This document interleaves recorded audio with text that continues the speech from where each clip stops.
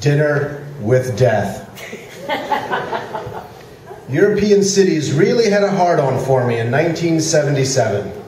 And not in a good way, more like a sociopathic Catholic priest kind of way. Speaking of Catholic priests, it all started in Catholic Priest Central, Rome.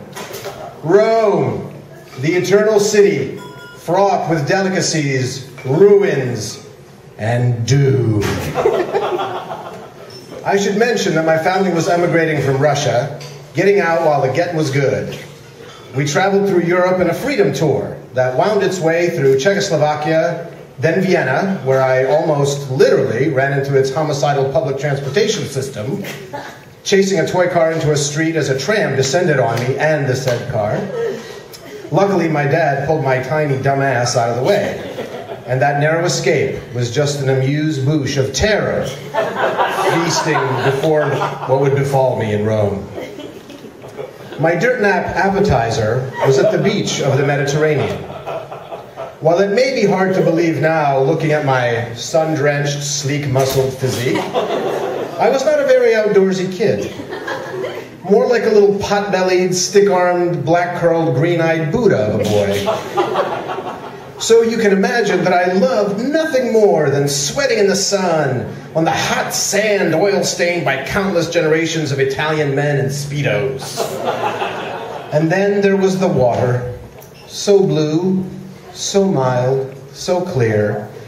Yet why is the music from Jaws playing in the background? I reluctantly went into the water that day, inching my way away from the hydrocarbon sands and into the gentle wave, into the gentle waves lapping at the beach. My parents were far out in the waves, well past the break. Slowly I made my way towards them, not really comfortable, but not fearful of the waves. Sure, the waves were getting a bit bigger the further out I went, but I could just jump over them, a little higher each time, no problem. Easy, kind of fun. Then all of a sudden, out of nowhere, a big wave came crashing down on me. It pulled me along with it under the water down to the ocean bottom. I couldn't breathe or scream. I thought I would never reach air again. The cold, crushing hand of death had gripped my chest and was squeezing the frail but precious life out of me. And then it released me. All of a sudden, I was up and struggling towards the beach, my eyes rolling like a spooked horse running from wolves. I was escaping the dark and icy grip of death, and was running with all the might of a pudgy five year old that I could muster, which meant I was getting exactly nowhere. In the meantime, my dad had been making his way towards me. He grabbed me up and brought me back to where we had left our towels. He comforted me while my mom made her way back as well, just to make sure I was still alive. The appetizer of death had been served, spiced with the bitter tears of terror. The entree at Death's house was served by a little red Fiat. A week after my sixth birthday, my new best friend and his family had left Rome to fly to America. I was sad that he was gone, so to make me feel better, my dad took me to a little convenience store and let me pick out whatever I wanted.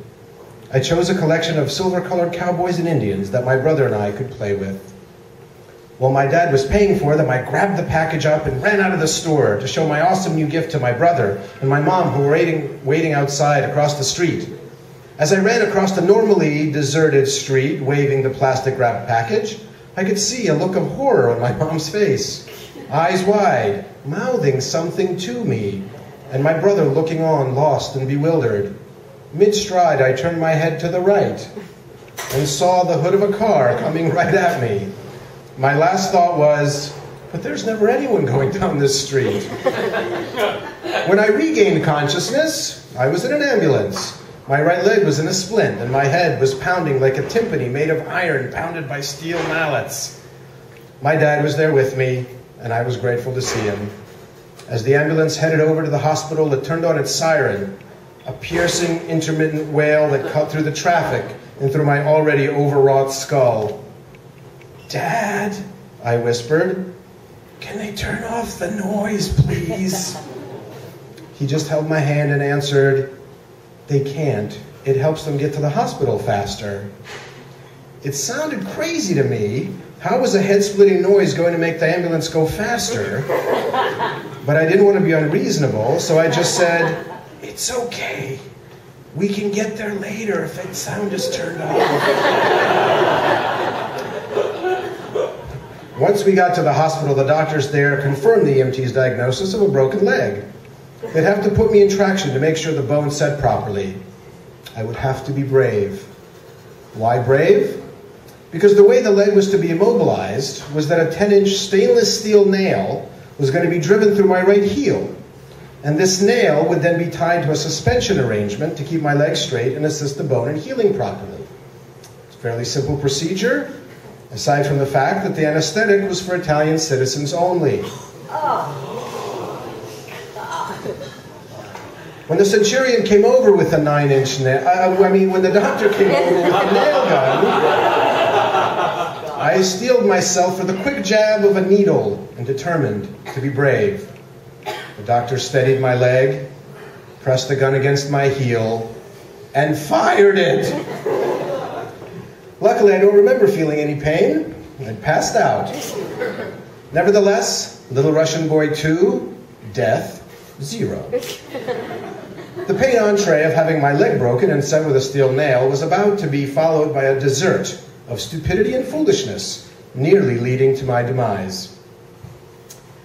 Hand operated vending machines in Rome sold small plastic bubbles with toys inside. Oh, God. I'd never had anything like that in Russia and had a fascination with getting the bubbles with the toys in them. When my mom asked me what I wanted while I was laid up in the hospital, I told her I wanted the plastic bubble with the toy inside. My mom found one of these vending machines and got me two bubble toys a little green faceless man and a mini motorcycle.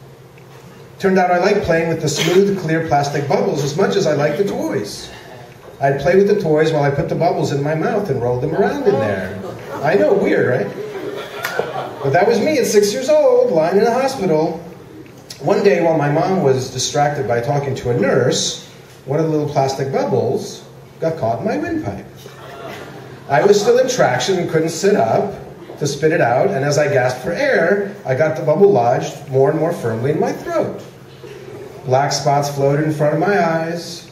I couldn't hear anything over the waterfall of blood in my ears, and everything was very peaceful and calm. And then my mom, who must have been seeing me going all purple and blue from lack of oxygen, pounded on my chest, slapped a plastic cream puff of death out of my throat, saved me again, just barely. Rome really had it in for me. But I survived all three attempts of my life in that infernal city. Next time I'm in the Seven Hills, I'll give the head pontiff a call to see if I can borrow the Pope Mobile. Though I'm not eager to dine with death again. Thank you.